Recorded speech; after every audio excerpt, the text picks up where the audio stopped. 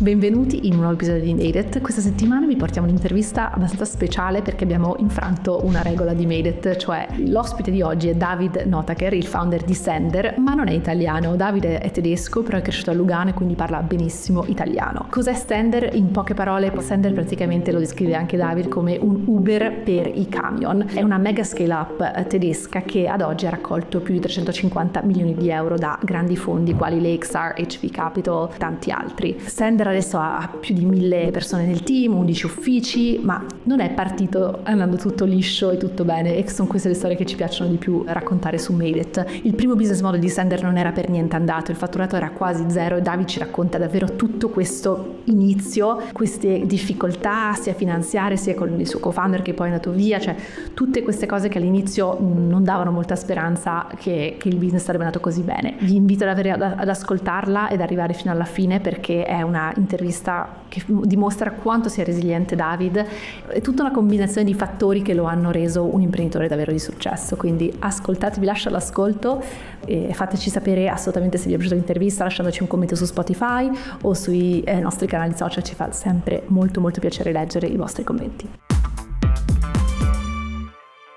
David, benvenuto su Made It, siamo felicissime di averti sul nostro podcast, eh, sei uno dei più grandi diciamo start-upper europei e ehm, anche se non sei italiano e quindi abbiamo fatto un po' una diciamo eh, un'eccezione alla nostra regola, però sei cresciuto a Lugano e quindi parli benissimo italiano. Su questo podcast ci piace cominciare sempre dagli inizi per capire un po' la persona che sei e quindi ehm, ti volevo chiedere cosa dobbiamo sapere del contesto in cui sei nato per capire la persona che sei oggi? Quello che dovreste sapere è che credo che mio papà, che era imprenditore, anche lui, ma imprenditore vecchio stampo, ha avuto senza volerlo un grande impatto su tutta la famiglia. I miei fratelli ed io siamo diventati imprenditori e anche mia madre adesso è diventata imprenditore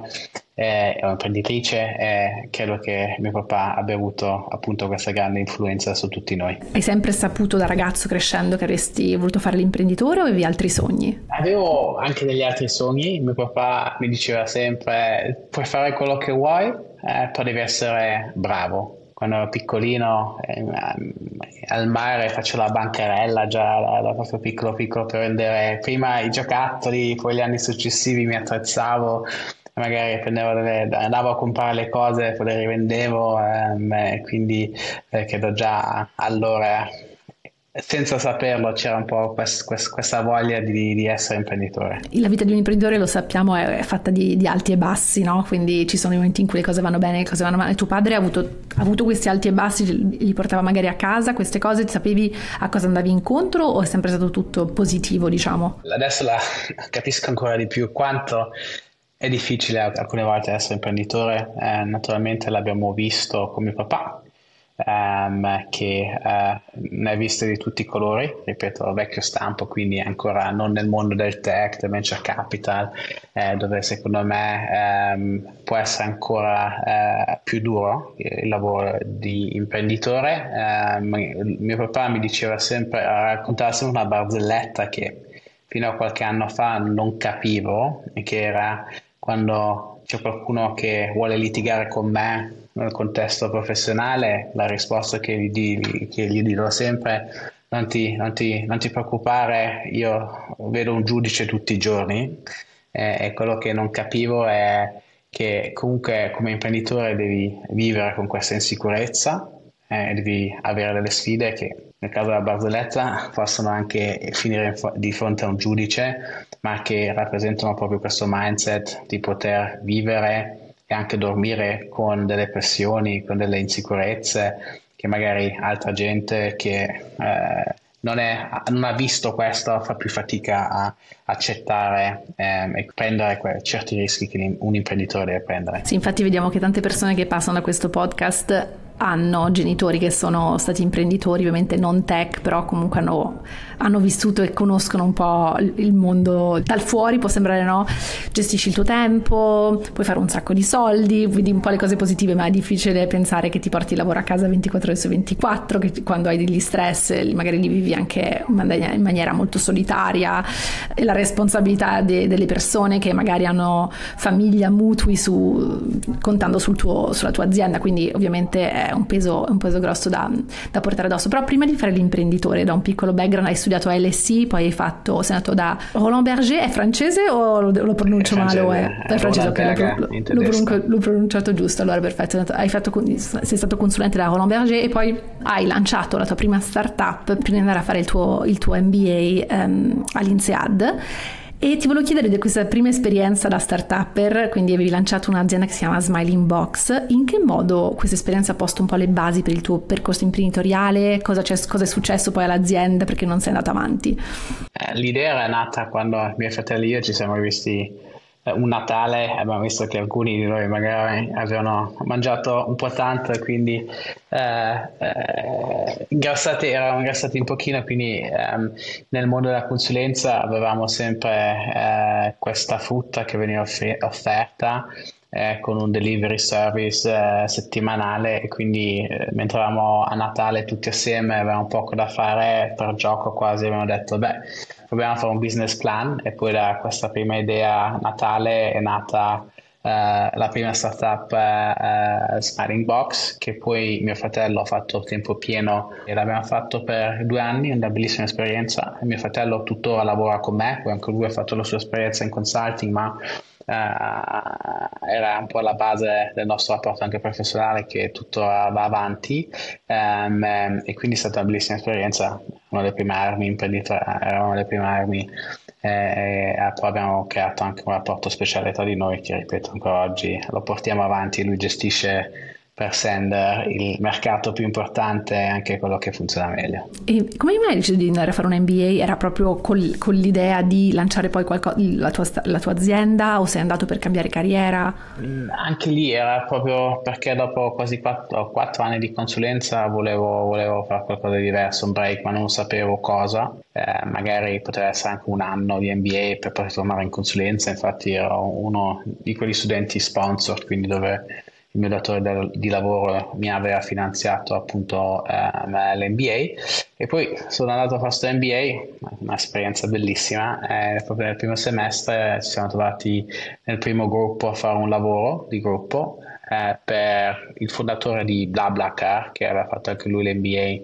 alla stessa università e quindi c'era un case study e da questo case study e questo lavoro di gruppo è nata un po' la prima idea eh, di Sender 1.0 e alla fine del, dell'anno, eh, nel 2015, eh, sono riuscito a convincere uno dei miei compagni di classe a venire con me a Berlino per lanciare appunto Sender subito dopo, quindi poi eh, avevo preso la decisione di non tornare in consulenza almeno per il momento perché volevo provare a lanciare Sender. Come ti è venuta però l'idea diciamo di Sender e so che avete poi fatto un pivot, quindi all'inizio che cosa doveva essere Sender, come è andato poi quel primo periodo perché c'è un cioè, come, come ho, ho, anticipato che ci sarà un grosso pivot, però c'è una bella storia lì. Eh, case study era come eh, sviluppare dei business model che potevano complementare quello di BlaBlaCar. L'idea iniziale che avevamo detto, beh, BlaBlaCar che ha una ride sharing platform dove persone che vanno da una città all'altra possono mettere a disposizione il posto libero in macchina, mi hanno detto, beh, posto di solo trasportare persone, si può trasportare anche dei pacchi, quindi ho detto facciamo un, un same day eh, per il delivery eh, dei pacchi, poi già nell'anno l'NBA abbiamo capito che la frequenza delle macchine, bla bla, non, non, non, non era sufficiente per uh, offrire un'alternativa. Uh, a, a magari servizi postali um, um, esistenti, quindi poi ho avuto la brillante idea di, di utilizzare i Flixbus, quindi i bus che anche sulla loro lunga distanza appunto avevano questa frequenza, avevano anche molta più capacità e abbiamo detto bene aggiungiamo un ultimo miglio per offrire a grandi e-commerce la possibilità di consegnare pacchi lo stesso giorno ehm, e l'idea era perché c'erano due grandi e-commerce, Amazon e Zalando, che in quel tempo avevano lanciato proprio il servizio same day e quindi la nostra ipotesi era eh, delle, degli e-commerce più piccolini, anche loro prima o poi dovevano offrire same day e la tratta lunga, quindi dal fulfillment center alla città, è quella che costava parecchio se non si avevano i volumi giusti, quindi abbiamo detto con i Flixbus possiamo coprire a un prezzo ragionevole alla distanza e poi l'ultimo miglio con i corrieri eh, per la delivery, quindi una volta finito l'NBA spostati a Berlino eh, come primo co-founder e ci abbiamo provato un anno, firmato una partnership esclusiva, esclusiva con Flixbus, avevamo due hub, uno a Berlino, uno a Hamburgo, ha detto adesso si parte e poi eh, dopo circa un anno avevamo zero fatturato zero clienti.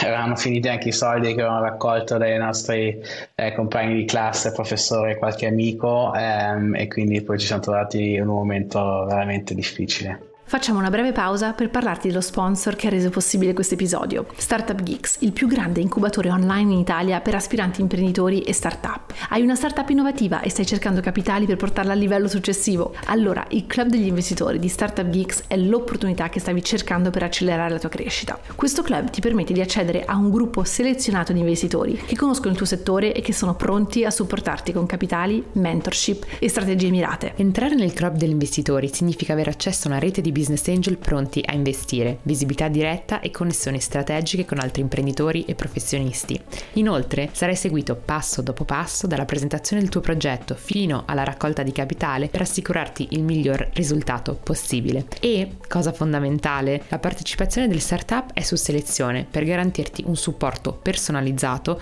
e la massima attenzione al tuo progetto. Se pensi che la tua startup abbia tutte le carte in regola per raccogliere capitali, visita il sito sgeeks.it slash investment club e scopri come puoi candidarti come al solito tutti i dettagli nelle note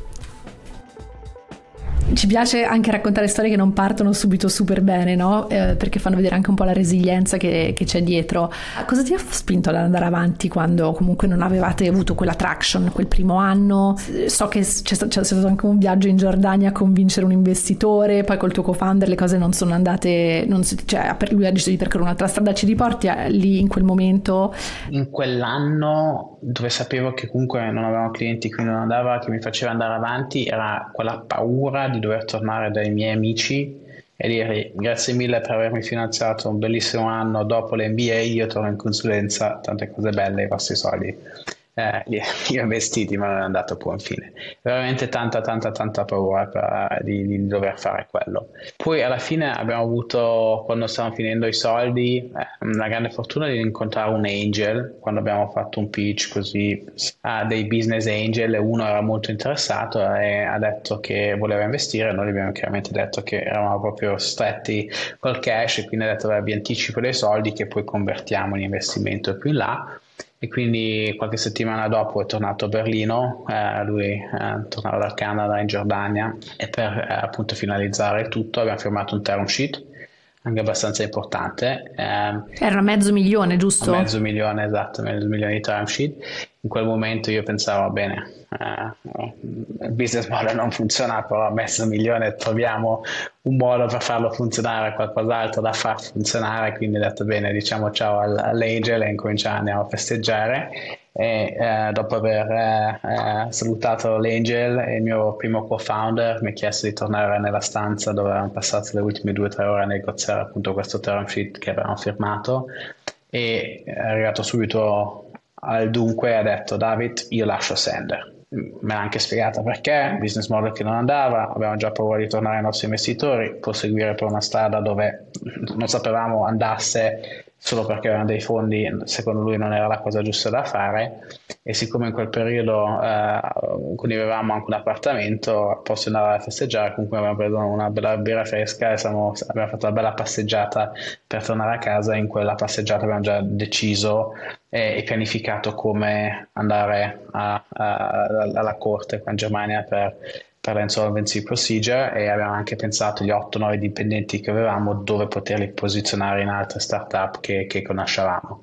Una volta arrivato a casa ho chiamato mio papà che mi aveva seguito molto e aiutato anche molto, gli ho spiegato la situazione. Mio papà mi disse David, ehm, è una bella esperienza per un imprenditore giovane capire cosa significa quando devi eh, eh, mandare una società in insolvenza. Poi ho detto, prima di fare quel learning c'è un'ultima cosa che devi provare e se va a buon fine puoi sempre decidere di non andare avanti, poi devi provare. E lui mi disse, vai a provare a convincere eh, l'imprenditore e l'angel investor a comunque investire solo in te. E io ho detto, e mio padre dice, provaci, casomai ti dici di, di, sì, comunque puoi dire di no se non hai voglia, se ti dici no, è eh no, e prosegui per la tua strada. Quindi eh, eh,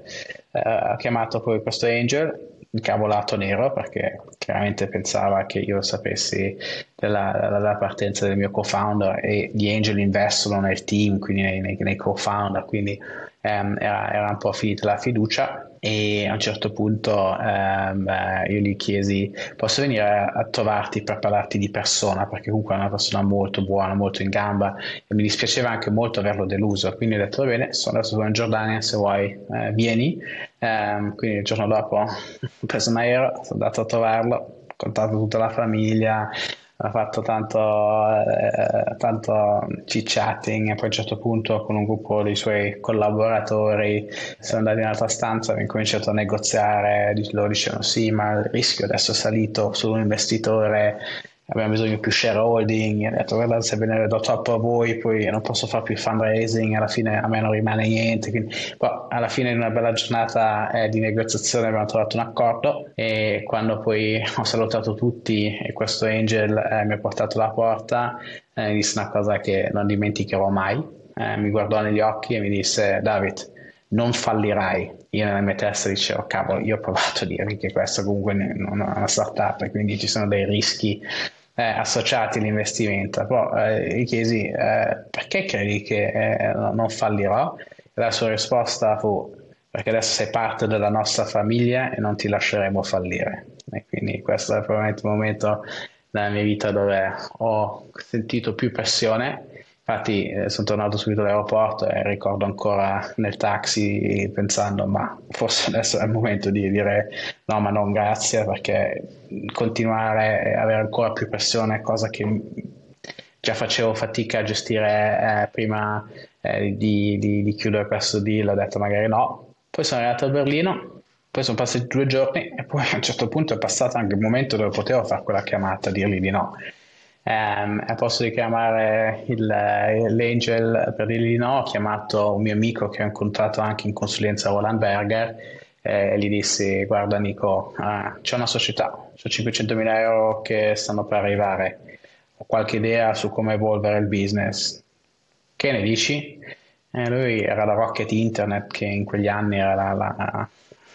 eh, dove gli imprenditori del futuro erano e quindi lui aveva voglia poi di anche la sua, la sua realtà e quindi eh, mi disse subito sì ehm, vengo, vengo, vengo da Sender e poi era il primo passo verso il pivot che poi, che poi abbiamo fatto. Questa storia è bellissima, mi piacciono ovviamente tutti questi aneddoti no, di tuo padre, poi di quello che ti ha detto lui. Non immagino la pressione, soprattutto quando non hai ancora un business model concreto, no? perché a quel punto non sapevi come avresti fatto il pivot. Infatti, quindi ti raggiunge questo, questo tuo amico come co-founder e poi come è cambiata l'idea di, di Sender? A quel punto è, è diventata l'idea di Sender che è adesso, che è oggi? Allora, da un attimo di contesto, quello era proprio il periodo dove eh, poi entrando Nico, il mio nuovo co-founder, io volevo anche uscire dall'appartamento dove vivevo con il mio primo co-founder. Quindi con il mio nuovo co-founder eh, poi gli ho chiesto di darmi eh, per qualche notte ehm, una stanza o comunque possibilità di, di, dormire con lui e lui mi disse guarda sono con Julius che conosci anche ti devo dire siamo due adulti l'appartamento 48 metri quadri poi c'è una piccola stanzina dove teniamo le scarpe. Non chiedermi perché erano così tante scarpe ma c'era poi sono stati carini hanno tolto tutte le scarpe. Io sono andato da Ikea ho preso uno di quei letti piccolini che c'entrava proprio perfetto la porta non si apriva per, pienamente, però il letto ci stava e poi mi sono trasferito lì, eh, qualche notte è diventata qualche settimana, qualche settimana, qualche mese e Julius era il terzo coinquilino che aveva la stanza più grande, quindi tutte le sere alla fine ci trovavamo nella sua stanza a discutere su come sviluppare il business model. Eh, eh, to cut a long story short, eh, tre mesi dopo lui non aveva scelta ed è eh, poi eh, entrato come terzo co-founder. E da allora lavoriamo assieme come co-founder, tutti ancora qua a Stender e con Nico e Julius poi abbiamo sviluppato il business model. Adesso per rispondere alla tua domanda come abbiamo sviluppato il business model, anche qua abbiamo fatto un po' lo stesso sbaglio che abbiamo fatto la prima volta, non abbiamo fatto veramente i nostri compiti, chiedendo veramente ai clienti che cosa volevano, provando veramente col Power Market Fit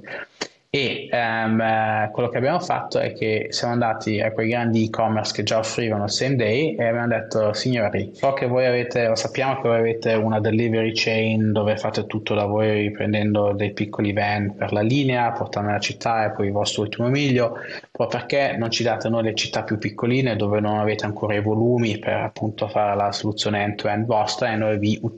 utilizziamo appunto i Flixbus e l'ultimo miglio. Ci hanno guardato, hanno sorriso, hanno detto idea carina, però secondo noi non funziona. Però hanno visto che nella nostra presentazione che avevamo eh, eh dato, vicino al Flixbus c'erano questi piccoli eh, van, questi camioncini, perché la prima domanda che tutti ci facevano, ma cosa succede se nel Flixbus è pieno non ci stanno più i pacchi? E la nostra risposta era, allora prendiamo un piccolo camioncino e ce li mettiamo, li mettiamo là dentro. E poi ci hanno chiesto, ma ce li avete questi piccoli veicoli? Che ci è? Noi abbiamo detto, certo, certo che abbiamo fatto anche un trasporto di un pacco. E poi anche sa perché cercate questi veicoli? È perché eh, ci, ci risposo che eh, tutti i fornitori logistici a cui chiedevano questi veicoli per fare la linea, quindi la lunga tratta da fulfillment center alla città, non erano disponibili perché questi mezzi circolavano nelle città e non sulla lunga distanza. Sulla lunga distanza ancora tutt'oggi la maggior parte sono camion grandi e non quelli piccolini, quindi non avevano accesso a questi veicoli. Cioè, ce li avete voi? Ho detto, chiaramente ce li abbiamo. Ed è qua stato il momento del, del pivot. Eh, poi per quasi un anno abbiamo fatto veicoli piccolini, 3 tonnellate e mezzo, quindi quei camioncini che, che si vedono quando, quando in città per le deliveries, che non abbiamo utilizzato appunto per fare tante deliveries al giorno, ma abbiamo detto vai la notte, carica i pacchi e portali in città 5 ore dopo o anche il pomeriggio, così vengono consegnati la sera. E siamo partiti così e poi solo lì eh, abbiamo capito che il business model poteva essere ancora più grande e ripeto quasi un anno dopo abbiamo capito che potevamo passare dai piccoli camioncini a quei bei veicoli grandi camion, quelli, quelli che si vedono sull'autostrada e quindi abbiamo eh, fatto appunto questo pivot completo. Sì, da, da, allora è stata una scalata continua, una crescita esponenziale del business, ma se dovessi tornare indietro al te di quel, di quel tempo, no? quando stai facendo quel pivot, che consiglio ti daresti in quel momento? No, prima del pivot detto, hai detto smettila e, e non continuare non ha senso, fai prima compiti e poi continuare I compiti cosa, cosa, cosa, intendi per compiti? Compiti Parli... capire meglio il mercato, andare uh-huh. veramente a chiedere che cosa volesse il mercato, i clienti, che cosa fosse un servizio per il quale eh, i clienti erano disposti anche a pagare qualcosa. Noi tutto questo l'abbiamo fatto nel primo business model, abbiamo detto e-commerce più piccolini avranno bisogno di same day, ma mica gliel'abbiamo chiesto ha detto vi facciamo questo servizio adesso compratelo invece eh, avessimo chiesto prima abbiamo capito che nessuno voleva pagare 3-4 euro in più a delivery perché pensavano anche se in primo momento uh, lo faccio pagare al mio cliente l'aspettativa del cliente due anni dopo è che è for free e tutti poi alla fine un anno dopo hanno capito che quelli erano poi i margini che facevano e quindi ehm, l'e-commerce con cui parlavamo dicevano non ha senso perché eh, eh, prima o poi eh, eh, non abbiamo più abbastanza margine per portare avanti. Quindi questo è un esempio. Poi anche quando abbiamo fatto il, il, il pivot, prendendo questa opportunità con questi, questi, piccoli mezzi, anche lì in teoria avremmo dovuto fare due passi indietro, andare a chiedere anche a altri clienti, ma questo è un servizio che servirebbe anche a voi, che cosa vi manca, come possiamo farlo meglio tutte cose che non abbiamo veramente fatto, che avremmo dovuto fare e che consiglio a tutti gli imprenditori, specialmente che sono all'inizio, di fare. Um, e quindi uh, abbiamo avuto molta, molta fortuna um, e non abbiamo, non abbiamo smesso. Quindi prima o poi abbiamo trovato qualcosa che funzionava ma tornando indietro mi avrei detto fai un passo indietro, fai i compiti e poi riparti. È molto utile questa, questa, cosa perché uno esatto pensa ho la soluzione a un problema, magari quel problema non esiste o quel problema risolto nel modo in cui tu pensavi di risolverlo non è come lo, lo non, è, non è la soluzione. pagare per risolvere quel vuole... problema. Esatto, esatto. Eh. E a che momento ti, cioè, come ti sei reso conto, come vi siete resi conto di aver raggiunto product market fit con il pivot? Cioè c'è stato un segnale, qualcosa? Il segnale era che fatturava, cresceva, cresceva, cresceva, cresceva quindi um, dopo un anno e mezzo di, di zero fatturato eh, era veramente una bella sensazione. Poi chiaramente um,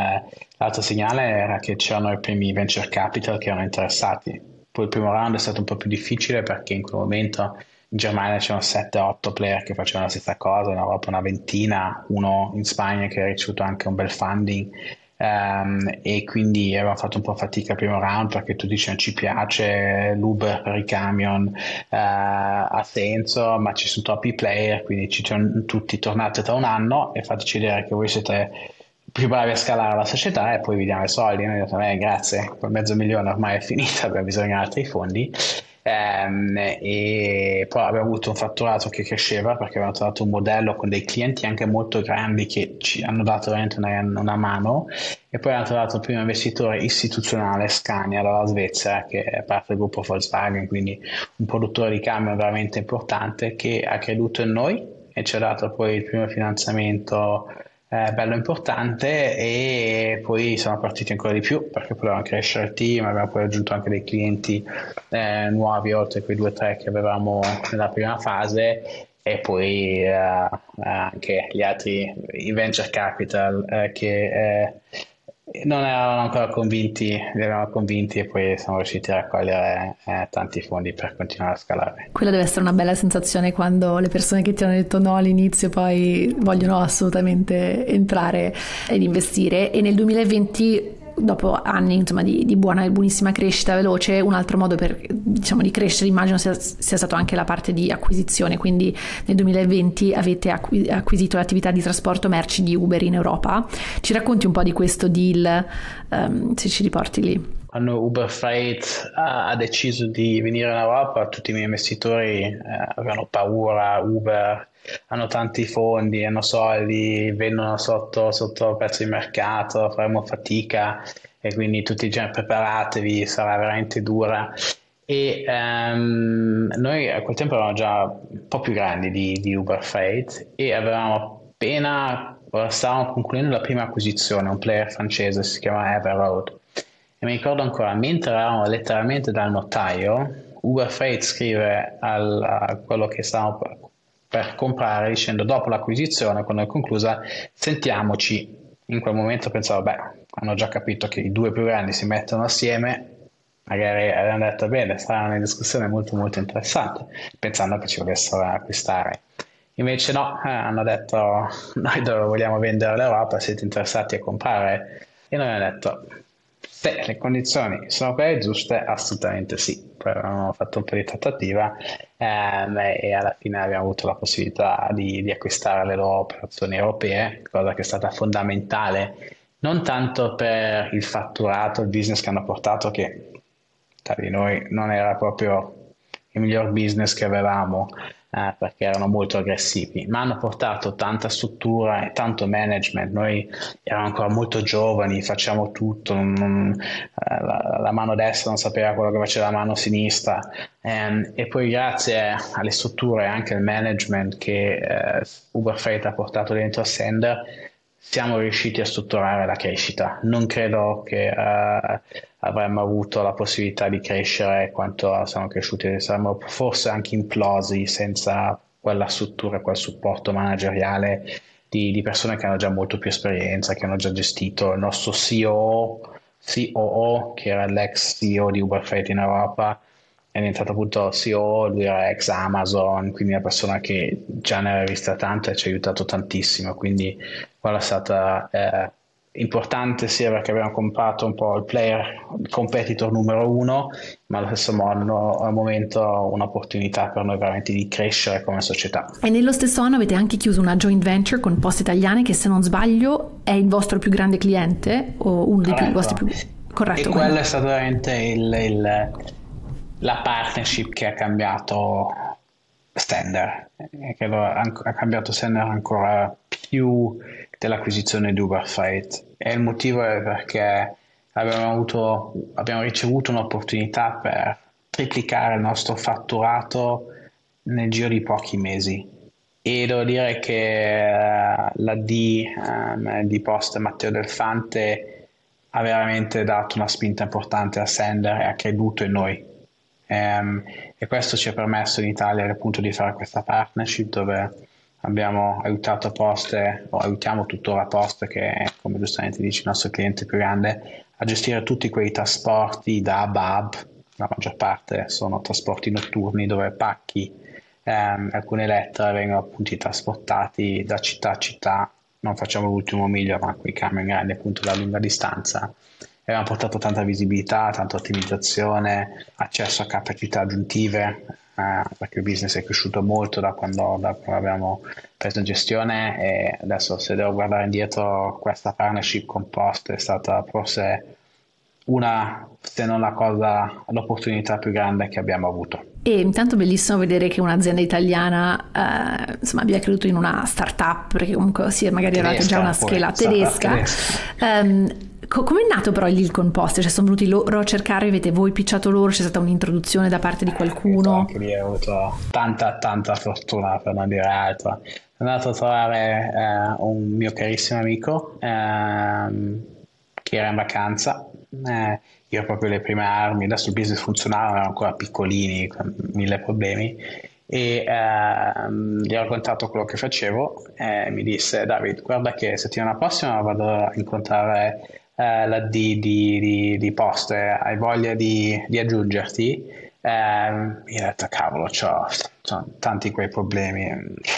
sinceramente no, poi alla fine mi ha convinto di andare con lui a Roma ho incontrato Delfante proprio prima di una sua vacanza nella Silicon Valley, quindi era proprio lui stava per partire ehm, per andare in Silicon Valley e quando eh, tornò eh, era nel mindset giusto. E poi abbiamo continuato le, le, eh, le discussioni col suo team, ehm, era proprio il momento giusto per portare questo tipo di innovazione dentro il mondo poste e poi sono rimasto anche molto sorpreso dal, dal management e dalle strutture di poste che per me erano sempre molto old school, non molto moderne, non molto veloci, infatti, però sono, ho, ho, visto un'altra realtà. Eh, il fatto che la D fosse stato quello che ha portato e che tuttora segue il nostro progetto è stato il, motivo per cui siamo poi riusciti a sbloccare tutto quello che serviva per, eh, per appunto scalare eh, Sender in Italia eh, dove oggi fattoriamo 250 eh, milioni. E siamo anche uh, scale up ma già molto profittevoli e quindi il modello che adesso cerchiamo di replicare nel resto dell'Europa adesso fatto un'altra acquisizione ancora più grande stiamo completando un'acquisizione ancora più grande che ci potrebbe portare a una scala paragonabile a quella che abbiamo in Italia proprio perché vediamo che in Italia quando abbiamo una certa scala il nostro business model funziona ancora meglio. In realtà non ti ho chiesto, ma il vostro business model esattamente adesso qual è? È a, a mio nonno che è 90, io lo spiego come un Uber per il camion. Quindi da un lato abbiamo grandi clienti, pensa a eh, poste italiane, forse è più facile pensare a Coca-Cola eh, che devono trasportare eh, beni da A a B, ma sulla lunga distanza, quindi 500-600 km, con dei mezzi pesanti, quindi quei camion grandi. Um, questo segmento della logistica si chiama carichi completi o full track load. Dall'altro lato del nostro business model abbiamo piccoli padroncini che hanno 5, 10, 50 veicoli che eh, mettiamo in contatto con appunto i grandi clienti come, come Poste. Coca-Cola, ma noi interagiamo non solo come intermediario, ma siamo anche parte contrattuale e primo punto di, oh, unico punto di contatto per ambo le parti. E utilizziamo appunto la tecnologia in mezzo per non solo dare più visibilità, più trasparenza a tutti e due i lati, ma anche per ridurre tutti quelli che sono i processi manuali. Quindi siete proprio una piattaforma tech, non, siete, non, non, non avete nessun veicolo comprato da voi, esatto. siete proprio ok. Questo episodio è sponsorizzato da Serenis. Lo diciamo sempre, l'imprenditoria è un percorso fatto di alti e bassi e può essere anche un percorso molto solitario. Per questo è importante non perdere di vista la propria salute mentale e lo dice anche Paul Graham, il founder di Y Combinator. I migliori imprenditori sono quelli che si prendono cura di sé. Questo non vale solo per gli imprenditori e le imprenditrici, sia chiaro. A volte facciamo fatica ad ammetterlo, ma abbiamo tutti bisogno di aiuto. La terapia può essere il supporto che ci manca. Se hai mai pensato di andare in terapia, ma ti senti perso o persa e non sai come trovare il terapeuta che fa per te, Serenis potrebbe essere la risposta. Serenis è una piattaforma digitale per il benessere mentale e un centro medico autorizzato che offre percorsi di psicoterapia, psichiatria, supporto psicologico online con oltre 1400 professionisti in tutta Italia, 100% psicoterapeuti con in media 11 anni di esperienza. Seguendo il link in descrizione o andando sul loro sito www.serenis.it troverai un questionario da riempire e da lì, tramite un algoritmo proprietario, la piattaforma ti connetterà con il terapeuta più adatto a te. Le sedute sono online e se il terapeuta selezionato non ti convince, puoi facilmente cambiare. Serenis ha deciso di offrire un codice sconto per tutti gli ascoltatori di Made It. Con il codice MADEIT7 avrai un colloquio gratuito e un'agevolazione di 7 euro sulle successive tre sedute. Parlando un po' di fundraising, quasi dieci anni hai raccolto più di 350 milioni di dollari da enormi fondi come Lakestar, Axel, Bailey Gifford e HV Capital. E dall'esterno quando si, si vedono questi mega annunci di round può sembrare che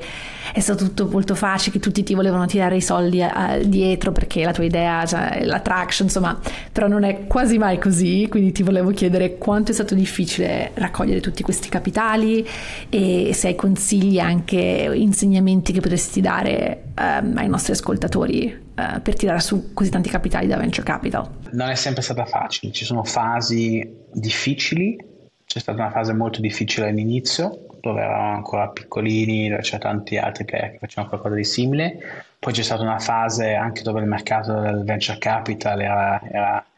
era on fire e quindi eh, c'era tanta voglia di investire in modelli che crescevano, avevano, ricevevano tante opportunità e poi quella è un po' la fase centrale. E poi um, come ben sai eh, qualche anno fa, due anni fa il mondo del venture capital eh, è rallentato parecchio e quindi ci troviamo che è di nuovo una fase un po' più difficile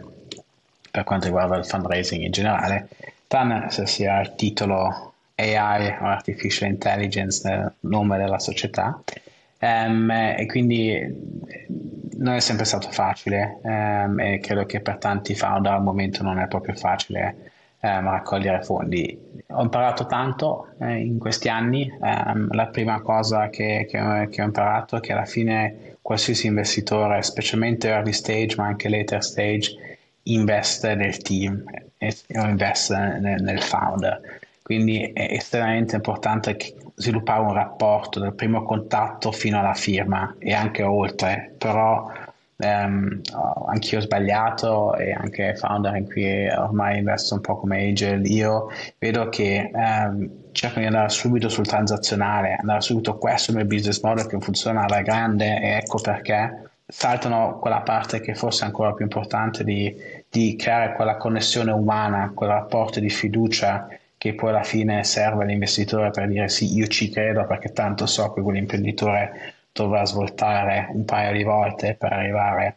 dove deve arrivare, quelle svolte non sono fi- facili, quindi l'imprenditore che, che a, a, cui credo. Quindi questo è un primo learning importante, infatti anche quando poi si è in fase di negoziazione, quando si scrive un term sheet,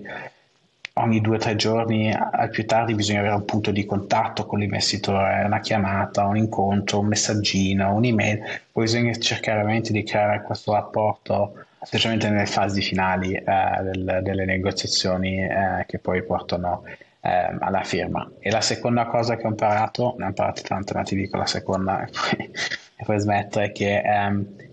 investitori devono spesso vedere che c'è qualcun altro che è anche interessato. È raro che un investitore sente che tutti ti hanno detto di no e loro io no sì, io ti dico di sì, ecco il term sheet. E quindi questo cosa significa? Che quando si fa un fundraising non si può fare un fundraising dove si dice bene, incomincio a scrivere i primi 10 investitori, se mi dicono di no scrivo i prossimi 10 investitori, poi sei arrivato al numero 100, ti dicono ancora di no, ma quello che io non sapevo è che tutti gli investitori sono nei gruppi WhatsApp e se poi sei mesi dopo uno scrive ma, ma avete sentito di Sender? E uno risponde sì, sei mesi fa gli ho detto di no, non, non, no, non aiuta. Molto utile questo consiglio. di andare veloce quindi, e parlare con tutti, diciamo più o meno esatto. al suo tempo. Esatto, è proprio quello learning di eh, strutturare ovviamente il round, magari prendersi un po' più di tempo per finalizzare i documenti, finalizzare chi, con chi vuoi parlare, quali sono i punti di contatto, chi ti fa l'introduzione perché scrive un'email a qualcuno non serve, devi avere qualcuno che ti fa una intro.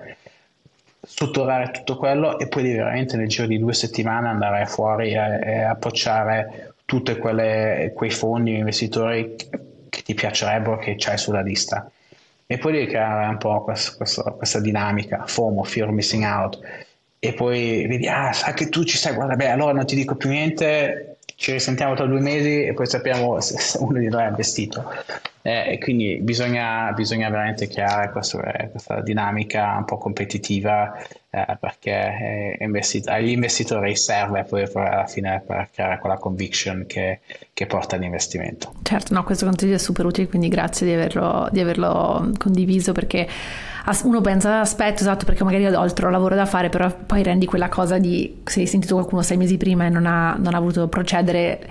cioè, c'è quella cosa di you don't look sexy anymore, no? Cioè esatto. l'investimento non, non, non è, sembra una old news, ehm, quindi no, è iper importante. E, um, Sender ha registrato una crescita enorme in un breve periodo di tempo e prima le aziende si costruivano su decenni e per arrivare diciamo alla scala di un'azienda come Sender oggi che ha mille, più di mille impiegati, 11 uffici nel mondo, cioè ci mettevano magari 40-50 anni, no? Ovviamente col venture capital ehm, e queste iniezioni di capitale super elevate vogliono portare una crescita esponenziale molto rapidamente.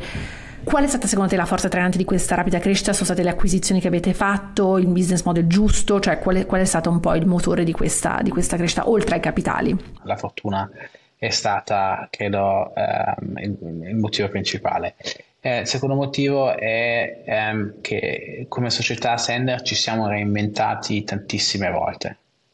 non solo quando abbiamo cambiato business model, ma anche col business attuale, ogni volta che raddoppi, specialmente il personale, ma anche il fatturato, devi, devi, devi cambiare tantissimo come funziona l'organizzazione, qual è la struttura, qual è il tuo management.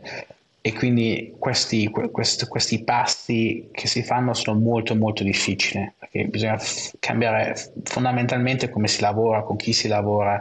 e come ci si muove e, e credo che qua abbiamo avuto anche sempre nel momento giusto anche le persone giuste al nostro fianco, manager dentro, ma anche advisor e investitori fuori che ci hanno, o Uberfreight, la persona che poi abbiamo portato dentro, per in quei momenti chiave dove dovevamo fare appunto questo passo per proseguire la scalata, siamo riusciti a farlo. E non è ancora la fine del viaggio, perché tante startup a un certo punto si bloccano, si bloccano spesso perché non riescono a fare questo passo che poi porta a, ok, l'investitore non mette più soldi perché vedono che non fanno sto passo per scalare. Il cliente più grande non viene perché vedono che la piattaforma non riesce a scalare. Tutte queste cose, quindi ci sono sempre ogni due anni più o meno, all'inizio magari anche ogni anno, bisogna veramente trasformare la società, eh, girarla completamente e qua è qualcosa che secondo me forse abbiamo fatto benino, che sicuramente è stato fondamentale per continuare a crescere e continuare a diventare sempre più grandi. Ci raccontavi prima no, della, della, parte personale che avevi vissuto comunque con grande pressione all'inizio del, dell'avventura con Sender, no? l'idea di fallire, dover dire agli amici che avevano perso i soldi adesso hai uguali per mandare le persone a casa, adesso sei passato da 7 persone a, a, comunque 1000, hai tirato su molti più capitali, come gestisci adesso questa pressione che, che hai addosso comunque che è esponenziale, cioè molto più grande? La pressione è cambiata, la pressione che avevo all'inizio dopo aver appunto um, la paura di dover tornare ai miei, ai miei amici è cambiata e avevo paura che t- tutti i giorni poteva essere l'ultimo giorno. Perché all'inizio eri dipendente, c'era un manager che ti cambiava e se quello ti lasciava non funzionava più niente. C'era un cliente grande che ti faceva 50% di fatturato, se quello ti lasciava non potevi andare. Quindi un, un, anche altre paure, un camion che eh, nel momento sbagliato fa l'incidente sbagliato e poi anche lì, quindi è sempre quella paura che ogni giorno può essere l'ultimo anche perché in termini di funding vai più da mese a mese, da anno a anno, ma hai degli orizzonti molto eh, molto più brevi, quindi c'è sempre quella paura che domani eh, non, non, sopravvivi. Invece adesso la persona è, è, diversa perché comunque adesso la responsabilità con mille, mille dipendenti ehm, è cambiata parecchio, ehm, è una responsabilità molto più grande e comunque noi dobbiamo ancora rischiare. Chiaramente rimaniamo alla grandezza, diventiamo sempre, però non continuiamo a scalare. Ogni volta che si prende, eh, si fa appunto quel pasto, quella trasformazione, bisogna prendere rischi importanti, però la responsabilità è molto molto più grande e quindi adesso la persona arriva più dal fatto che comunque bisogna prendere dei rischi e le conseguenze se si prendono rischi sbagliati sono ancora più importanti. Eh, non sono più i miei amici, ma ci sono tante famiglie che potenzialmente eh, poi eh, ne, ne, ne, ne, soffrono le conseguenze. Però è una cosa che dobbiamo fare perché altrimenti siamo, se, se ci fossimo fermati già 3-4 anni fa non saremmo diventati quello che siamo e noi abbiamo scelto anche la strada del venture capital che fino a quando non siamo veramente tanto tanto grandi tanto tanto profittevoli comunque ci spinge sempre a cercare quel prossimo passo che ci porta avanti in modo più veloce di tutti gli altri. E a livello di gestire questo adesso, c'è qualcosa che fai, non so, che può essere lo sport, può essere parlare con gli amici, la tua, la tua, tua moglie, non lo so, qualsiasi cosa, c'è qualcosa che ti aiuta a gestire questo livello di pressione andare a letto comunque e dormire? Assolutamente. Beh, mio figlio che è, appena, che è appena nato sicuramente aiuta perché adesso la notte quando mi sveglio penso a lui e non a tutti quei problemi e aiuta a, a farmi riaddormentare molto più velocemente, quando non mi tiene sveglio lui. Um, però uh, negli ultimi 5-6 anni ho trovato anche due cose che mi veramente mi aiutano e cose che quando avevo 20 anni non avrei mai accettato. La prima è un coach o mentor, quindi un business coach, cosa che consiglio a tutti. Ripeto, se qualcuno mi avesse detto quando avevo 25 anni, ho detto sì, ma io mica ho problemi, potevo andare a vedere un business coach. Invece adesso ho capito qual è il valore in quanto ehm, credo tutti abbiamo sempre dei, dei, conflitti, dei problemi che non vogliamo risolvere subito. Quello che succede spesso è che ce li portiamo avanti per troppo tempo, perché non prendiamo mai il tempo per veramente riflettere e quindi quello che a me ha aiutato veramente è avere questo coach che 3-4 ore quarter e una o due ore a mese mi mette proprio on the spot e mi dice quali sono le cose che ti tengono sveglio la notte, quali sono i problemi. E poi non mi dice lui la soluzione, ma mi, mi fa le domande giuste in quel momento, poi io non ho neanche scelto di dire, beh, ci penso domani, settimana prossima, mese prossimo. Le devo risolvere in quel momento, almeno pensarci in quel momento. E mi aiuta tantissimo, perché riesco a sbloccare tantissime cose che altrimenti non mi fanno dormire, che non mi fanno, non mi fanno dare il massimo. Quindi questa è la prima cosa. E poi lo sport, anche lì, ancora fino a 3-4 anni fa, facevo sport quasi tutti i giorni, ero molto disciplinato e pensavo questo basta. Invece poi tramite il coaching ho capito che magari anche il coaching a livello sportivo può aiutare, quindi ho cominciato a lavorare con un trainer anche qua può sembrare perché non ci vuole per invece anche qua adesso faccio due o tre volte a settimana sport solo e non cinque ma riesco a fare molto di più perché ho qualcuno che mi spinge che mi, mi, che mi fa 20-30% di più e mi fa anche imparare delle cose nuove, fare delle cose nuove che da solo non avrei fatto e quindi anche stamattina 6, 6 di mattina Dato, faccio sempre fuori nel parco una, un'oretta e mezza di sport. Torno, sono arrivato in ufficio stamattina carichissimo, eh, pieno di energia. Eh, e magari la terza cosa, non so come si chiama in italiano, ma faccio intermittent fasting, quindi mangio da pranzo a cena e salto praticamente la colazione e anche questo mi ha aiutato a tenere la mente ancora più più sharp eh, mi aiuta anche tantissimo. Quindi... Un'altra domanda che, ti, che, mi piacerebbe, che mi piace fare anche alle persone è, e la voglio fare a te, da dove viene la tua motivazione? Cioè questa voglia di alzarti, spaccare, crescere, prendere i rischi? probabilmente ci sono due, due risposte a questo. La prima è che Comunque ho capito presto, eh, quando, quando, ho anche perso un fratellino, eh, che la vita è limitata e quindi ho realizzato che comunque nella mia vita voglio eh, fare tutte quelle esperienze che posso fare e ogni giorno spingermi e, e fare il massimo di tutti i giorni. E ho capito che ho l'unico modo per me per appunto spingere me stesso a avere queste esperienze il massimo che posso avere tutti i giorni è diventare imprenditore perché ogni giorno è diverso ogni giorno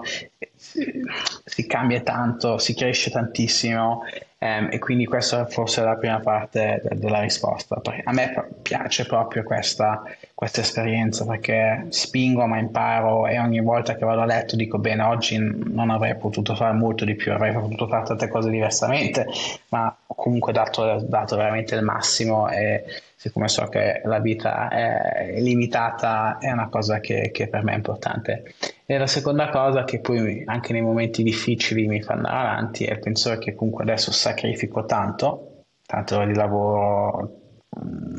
molto in giro, molti sacrifici anche emozionali che, che bisogna fare per poi avere un giorno la possibilità di avere una famiglia così come me la immagino io. E dare adesso per il momento eh, il mio piccolo figlio e eh, la famiglia che poi ne deriverà eh, con la vita che mi immagino. E siamo arrivati alla fine dell'intervista che di solito chiediamo con una famosa ultima domanda che però no, la, devo, la devo leggermente cambiare per te perché non sei italiano, ma ti vorrei chiedere in che modo parlare italiano diresti che ti abbia aiutato nel tuo percorso? Tantissimo, tanto perché credo che con ogni lingua si impara una cultura la cultura italiana, forse la cultura, non forse, è la cultura più bella che c'è. La seconda cosa è anche da un punto di vista business, io con Poste non avrei mai potuto sbloccare quel business che, che oggi abbiamo eh, se non parlavo italiano. Ha creato Già quella fiducia in più, no? Quel, quel contatto.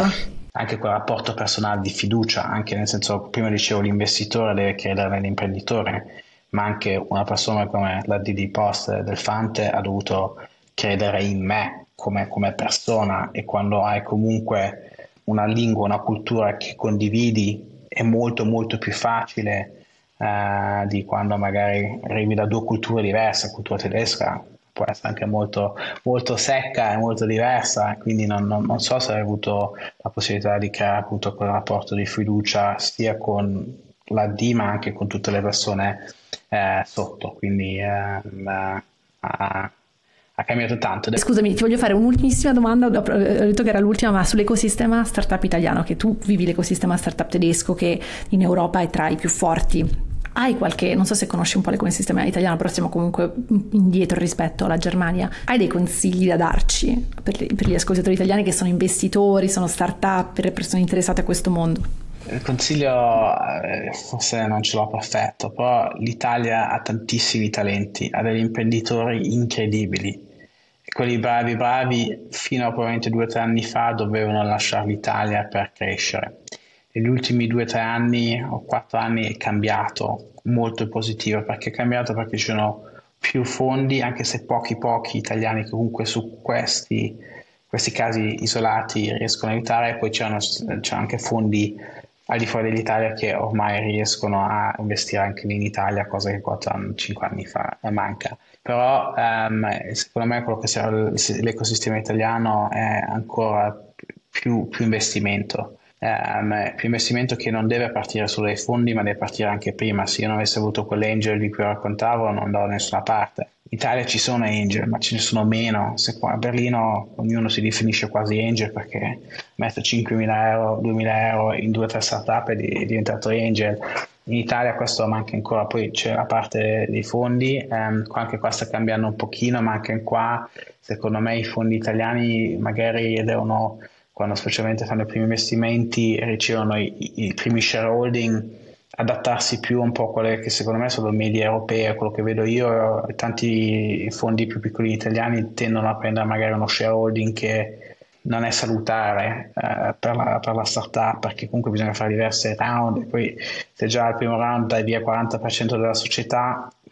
non va bene, in Germania te ne dai via 10, 15, magari 20% eh, se ti va male e quindi anche qua l'ecosistema deve, deve migliorare. Comunque negli ultimi 3-4 anni credo che eh, è successo tanto, ancora le prime armi, ma eh, come avete hai ben capito a me l'Italia piace molto e sono convinto che se c'è un po' più di angel investing, un po' più di fondi e magari una mentalità un po' più aperta anche a lasciare più spazio di crescita um, um, ai, ai, founder in Italia, eh, l'Italia può creare un bellissimo ecosistema um, per le startup. Grazie David, grazie mille di essere stato, di essere stato, ai nostri microfoni qui su Mailet a condividere la tua storia e tutti i tuoi consigli. Penso che sia stato un episodio veramente molto molto utile per chi ci ascolta, quindi eh, grazie di aver preso il tempo ecco, per essere stato qui con noi. E sono contenta te, che sei un grande supporter dell'Italia, quindi ti, ti, ti vogliamo vedere angel investor in Italia presto. Assolutamente sì. Ciao, grazie mille. Ciao, grazie.